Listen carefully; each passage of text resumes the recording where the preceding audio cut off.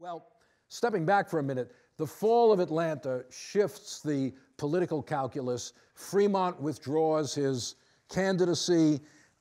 As late as October, Lincoln, we have in the, uh, in the Lincoln papers a little, a little chart. Lincoln drew up a chart of the um, states that he was going to carry and the states that McClellan was going to carry. And Lincoln thought he was only going to win by six electoral votes. It was still very close. So, in fact, at that, they actually, Congress actually admitted Nevada as a state in October 1864, or around that time, to get the three electoral votes of Nevada. Nevada, a very small population, but strongly Republican.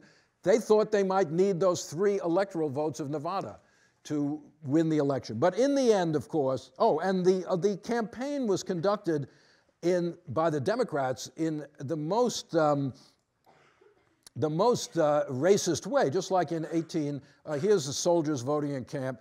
Here, this is a Democratic Party political lithograph that was widely used in 1864, the miscegenation ball. Miscegenation, you know, uh, the English, there are, we got a lot of people in our English department who study the etymology of words. There's the Oxford English Dictionary. You could trace words way back to the German, Anglo-Saxon, etc. Miscegenation is a word we know exactly when it began. It was invented in 1864 by two Democratic Party politicians to somehow suggest interracial sexual mingling. So here is a supposed ball taking place at a Republican Party gathering, the miscegenation ball, with it's basically white men dancing with black women or embracing them over here, kissing them. Here's one sitting on the lap of someone. They're all dancing. This is the Republican Party, the miscegenation ball. White men and black women dancing, cavorting. That's what's going to happen if Lincoln is reelected. Um, this is what they would call in the 20th century a sort of dirty trick, you know, of, of politics. Um, but anyway, Lincoln eventually won a resounding victory. He carried almost every state. Of course, the Confederate states are not voting, but he, in the end, he got 212 electoral votes to only 21 for McClellan. The only three states carried by McClellan were two border states, Kentucky and Delaware, and, always bringing up the rear, the state of New Jersey. The one, the one state that's not a slave state that, were, that voted for McClellan. Now, the previous Congress meets again in, for its second session beginning December 1864, right after the election. And they have to deal with this 13th Amendment, a constitutional amendment to abolish slavery. Now, in a movie, you might get the impression that Lincoln originated the 13th Amendment. This is completely false. The 13th Amendment was, origin, was first launched by abolitionists in early 1864, particularly female abolitionists.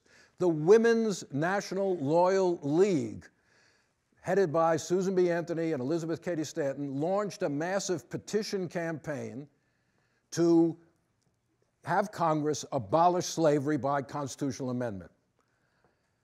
Then Fremont, remember, Fremont's platform in May endorsed the 13th Amendment. At that point, Lincoln said, yeah, it's a pretty good idea. Lincoln was actually opposed to it at first, not because he, was, he thought the best way to abolish slavery was state by state. Each state should abolish slavery on its own. Slavery is created by state law. It should be abolished by state law. Um, also, getting a constitutional amendment through is not easy. Two thirds of Congress, three quarters of the states, not easy. The Senate ratified it in the spring of 1864, but it was defeated in the House. In January, it comes back to the House for another vote. That's what the movie is about. Lincoln, by this point, pushes for ratification. So do the radical Republicans. The movie gives you the impression the radicals didn't want to work with Lincoln on this. That's absurd. They had originated the idea. Ridiculous. Um, Lincoln pushes for it not as a choice between abolition and the end of the war, but as a way of promoting the end of the war, showing that there's no hope of coming back with slavery intact. Was there corruption in the passage of the 13th Amendment? Yes. Secretary of State Seward, as the movie showed, mobilized a group of fairly unsavory characters to influence people. Did Lincoln wander around Washington at night knocking on the doors of congressmen? No, no, he didn't do that, folks. Forget it. He was home in bed. But um,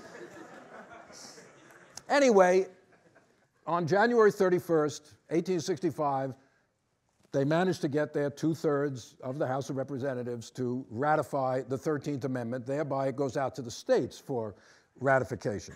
Why did they need a 13th Amendment anyway? Well, first of all, as we've said, the Emancipation Proclamation did not apply to parts of the, to the border states. It did not apply to certain parts of the South. Legally speaking, the proclamation frees individuals.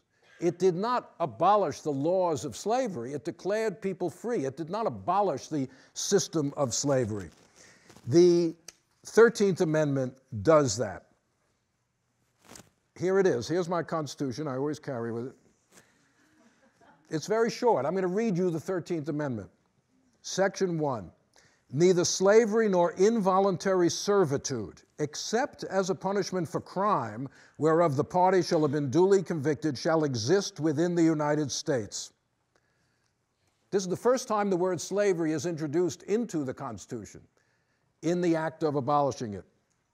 Section 2 Congress shall have the power to enforce this article by appropriate legislation.